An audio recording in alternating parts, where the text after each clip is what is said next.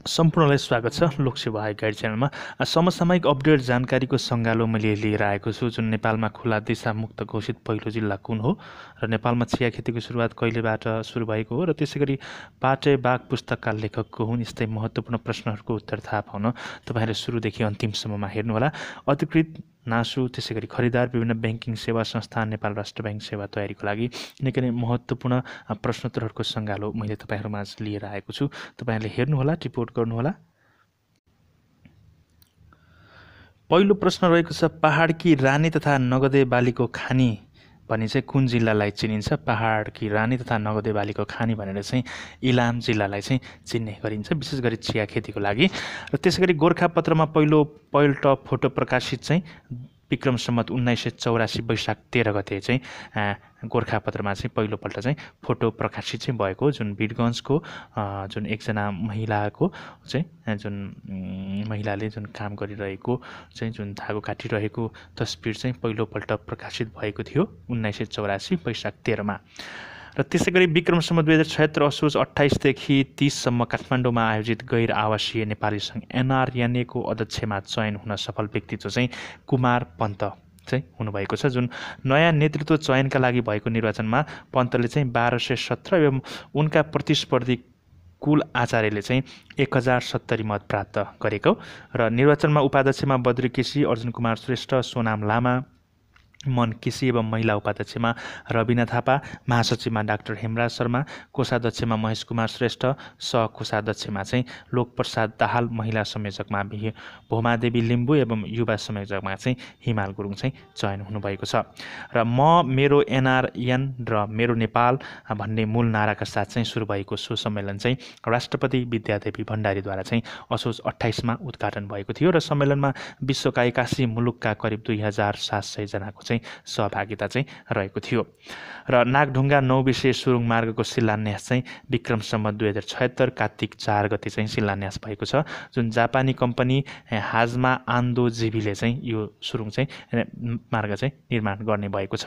र साढे तिन वर्षमा निर्माण सम्पन्न गर्ने यो योजना चाहिँ रहेको छ र यो सुरुङ मार्गको निर्माण लागत चाहिँ करिब पन्ध्र अर्ब पच्चिस करोड रुपियाँको चाहिँ अनुमान गरिएको छ र सुरुङ मार्गको लम्बाइ चाहिँ दुई पोइन्ट छ आठ किलोमिटर चाहिँ रहने भएको छ। र त्यसै गरी बाघ सम्बन्धी जानकारी समेटिएको पुस्तक पाटे बाघका लेखक चाहिँ डाक्टर हेमसागर बराल हुनुहुन्छ। है जुन पाटे बाघ पुस्तकका लेखक जुन बाघको ऐतिहासिक पृष्ठभूमि वासस्थान संरक्षणमा भइरहेको राष्ट्रिय अन्तर्राष्ट्रिय प्रयासहरू र चुनौती लगायतका पक्ष समेटेर तयार पारिएको सो पुस्तकमा चाहिँ बाघलाई विचरण गर्न आवश्यक पर्ने क्षेत्र आहार प्रजाति शिकार गर्ने तरिका प्रजनन अवस्था बाघसँगको सांस्कृतिक एवं धार्मिक महत्त्व र यो जन्तुका अन्य आनी बानीलाई पनि यो पुस्तकमा चाहिँ समेटिएको छ र यो पुस्तक चाहिँ दुई हजार छयत्तर कार्तिक चौबिसमा चाहिँ सार्वजनिक गरिएको हो। र जुन सुरुङ मार्ग रहेको छ जुन नौ विषयको सुरुङ मार्ग निर्माणको लागि चाहिँ जुन जापानी अन्तर्राष्ट्रिय सहयोग निया नियोग जुन जाइकाले चाहिँ दुई हजार पन्ध्रमा चाहिँ प्रारम्भिक अध्ययन गरेर दुई हजार अठारमा दुई पोइन्ट सात किलोमिटर लामो सुरुङको चाहिँ डिपिआर पारेको छ र उक्त नागढुङ्गा सुरुङ मार्गसम्म चाहिँ जुन पुग्ने धादिङ र काठमाडौँतर्फको करिब साढे दुई किलोमिटर पहुँच मार्ग सातवटा पुल एघारवटा कलबट एवं दुईवटा चाहिँ फ्लाइओभर ब्रिज चाहिँ बनाइने भएको छ।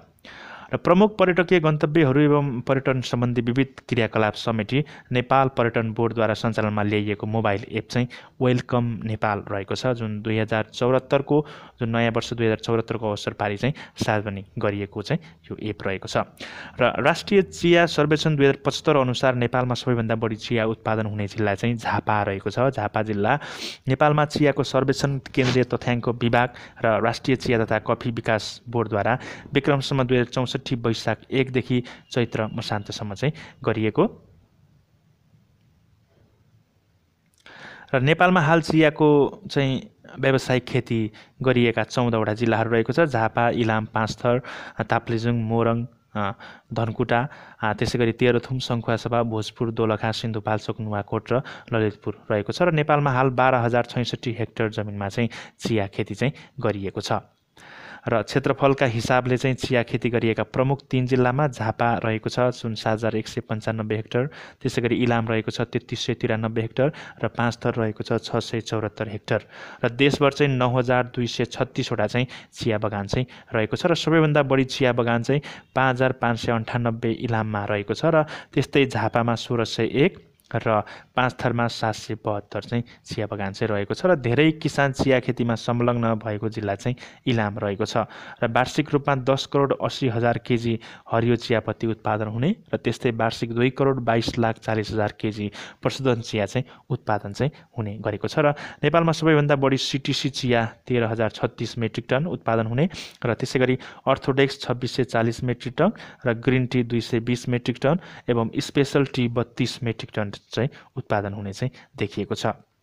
र सिटिसी चियाको उत्पादन झापामा हुने गरेको छ र नेपालमा हाल चिया प्रशोधित कारखाना चाहिँ एक सय तेह्रवटा रहेको छ र नेपालमा चिया खेतीको सुरुवात चाहिँ विक्रम सम्मत उन्नाइस सय बिसदेखि चाहिँ भएको हो। है जुन नेपालमा चिया खेतीको सुरुवात विक्रम सम्मत उन्नाइस सय बिसदेखि चाहिँ भएको हो।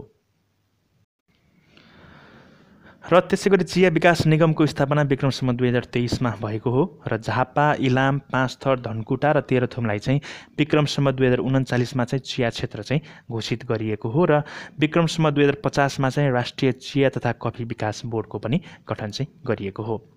र चिया उत्पादन हुने प्रमुख पाँच जिल्लामा चाहिँ जुन झापा जिल्लामा रहेको छ जुन हरियोपत्ती चाहिँ आठ लाख पच्चिस हजार जुन आठ करोड पच्चिस लाख सत्र हजार किलोग्राम त्यसै गरी इलाममा चाहिँ एक करोड उनासाठी लाख एकहत्तर हजार किलोग्राम त्यसै गरी पाँच थरमा सात लाख पैँसठी हजार किलोग्राम त्यसै गरी धनकुटामा तिन लाख नौ हजार किलोग्राम त्यसै गरी तेह्रथुममा चाहिँ एक लाख एकाउन्न हजार किलोग्राम चाहिँ उत्पादन हुने चाहिँ गरेको छ।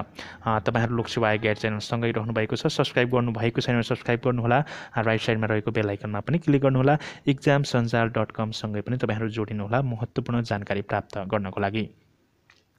मार्फा कृषि फार्म कुन जिल्लामा रहेको छ? मार्फा कृषि फार्म चाहिँ मुस्ताङ जिल्लामा रहेको छ र जुनारका लागि प्रसिद्ध जिल्ला चाहिँ सिन्धुली जिल्ला रहेको छ र निजी क्षेत्रको लगानीमा सम्पन्न नेपालको पहिलो जलविद्युत आयोजना चाहिँ खिम्ती जलविद्युत आयोजना रहेको छ जुन साठी मेगावाटको र जितगढी रूपन्देहीमा पर्दछ भने अमरगढी चाहिँ डडेलु धरामा जुन डडेलु धरामा चाहिँ अमरगढी पर्दछ। र नेपाललाई खुला दिशामुक्त राष्ट्र घोषणा चाहिँ दुई हजार छयत्तर असोज तेह्र गते चाहिँ नेपाललाई चाहिँ खुल्ला दिशामुक्त राष्ट्र घोषणा चाहिँ गरिएको छ। र नेपाल विक्रमसम्म दुई हजार छयत्तर असोज तेह्रमा चाहिँ दक्षिण एसियाकै पहिलो खुल्ला दिशामुक्त देश चाहिँ घोषित भएको छ।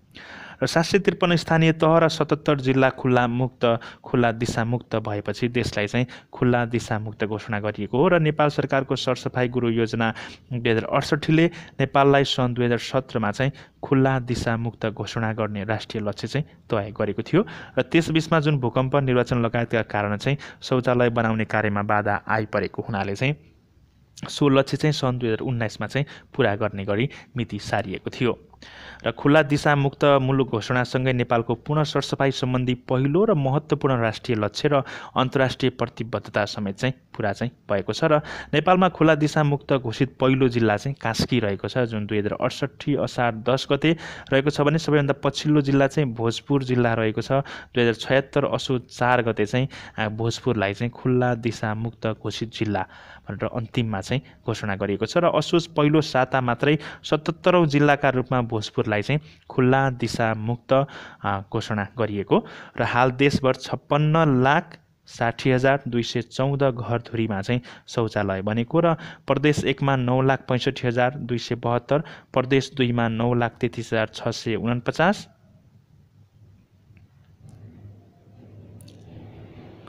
र त्यसै गरी प्रदेश नम्बर तिनमा सोह्र लाख बाइस हजार एक सय तेह्र गण्डकी प्रदेशमा पाँच लाख अडचालिस हजार दुई सय दस प्रदेश नम्बर पाँचमा सात लाख तिरानब्बे हजार नौ सय नब्बे कर्णाली प्रदेशमा तिन लाख सात हजार नौ सय पैँसठी र सुदूरपश्चिम प्रदेशमा चार लाख उनानब्बे हजार पन्ध्र घरधुरीमा चाहिँ शौचालय बनेका छन्।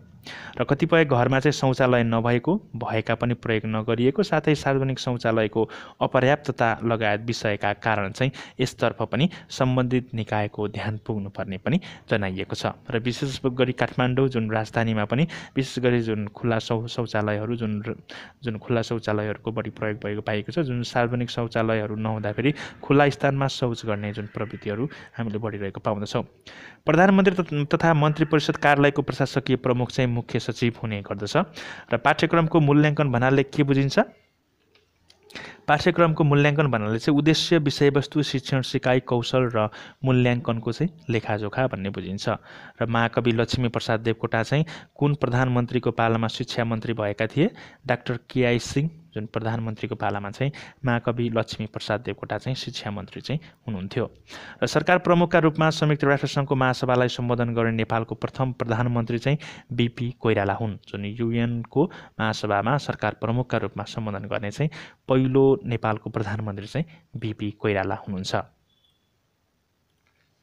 र नेपालमा पहिलोपटक सबको चिरफार चाहिँ विक्रम सम्मत उन्नाइस सय अन्ठाउन्न जेठ चार गते गरिएको थियो। नेपालकै एउटा पहिलो रेकर्डको रूपमा रहेको छ जुन राजकृष्ण मुकुर्जीद्वारा चाहिँ डिसेक्सन अर्थात् सब चिरफार चाहिँ गरिएको हो र वीर अस्पतालमा कहिलेदेखि सञ्चालन आएको हो? वीर अस्पताल चाहिँ उन्नाइस सय सडचालिस असार पन्ध्र गतेदेखि विक्रम सम्मत उन्नाइस सय सडचालिस असार पन्ध्रदेखि चाहिँ सञ्चालनमा चाहिँ आएको हो।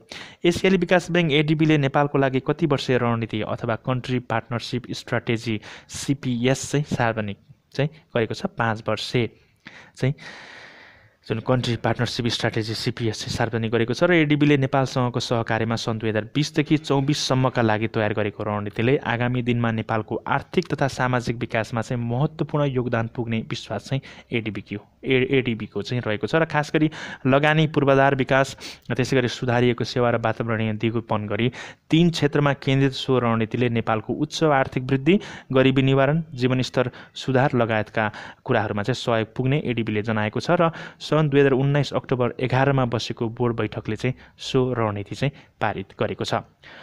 हुन्छ तपाईँहरू लोकसेवा आय गाइड च्यानलसँगै रहनुभएको छ। निकै नै महत्त्वपूर्ण समसामयिक सन्दर्भहरू हामीले यसमा पाउँदछौँ। तपाईँहरूले हेर्नुहोला टिपोट गर्नुहोला लोकसेवा आय गाइड च्यानलसँगै रहनुहोला सब्सक्राइब गर्नुहोला राइट साइडमा रहेको बेल आइकनमा पनि क्लिक गर्नुहोला लाइक सेयर कमेन्ट गर्नुहोला।